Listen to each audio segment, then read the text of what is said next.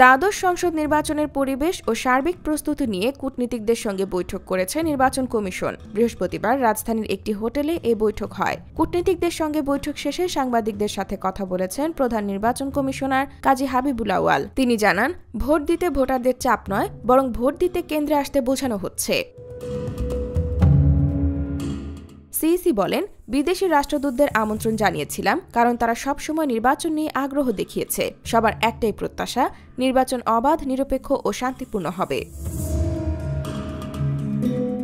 তিনি বলেন, আচরণবিধি লঙ্ঘনের অভিযোগ এবং কি ব্যবস্থা নেওয়া হচ্ছে তা জানতে চেয়েছেন রাষ্ট্রদূতরা। নির্বাচন কমিশনের পক্ষ থেকে পদক্ষেপগুলো জানানো হয়েছে বলে নিশ্চিত করেন কাজী হাবিবুল আওয়াল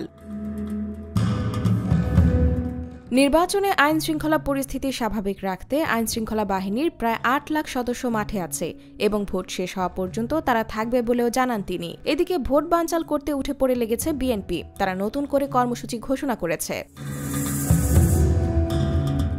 নির্বাচন বর্জন, অসহযোগ আন্দোলনের পক্ষে গ্রেফতারকৃত নেতাকর্মীদের মুক্তির দাবিতে আগামী ছয় জানুয়ারি সকাল ছয়টা থেকে আট জানুয়ারি সকাল ছয়টা পর্যন্ত আটচল্লিশ ঘণ্টার হরতাল কর্মসূচি ঘোষণা করেছে বিএনপি।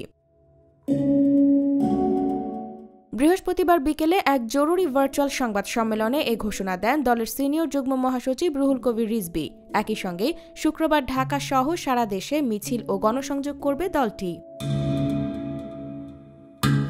তিনি জনগণের উদ্দেশ্যে বলেন, সাত জানুয়ারি প্রহসনের সংসদ নির্বাচন বর্জন করতে হবে দেশবাসীকে। তিনি বলেন, একতরফা নির্বাচনে সরকার নিজেরা নিজেরা পরিকল্পিতভাবে সহিংসতা ঘটিয়ে বিএনপি ও বিরোধী দলীয় নেতাকর্মীদের ওপর দোষ চাপাচ্ছে।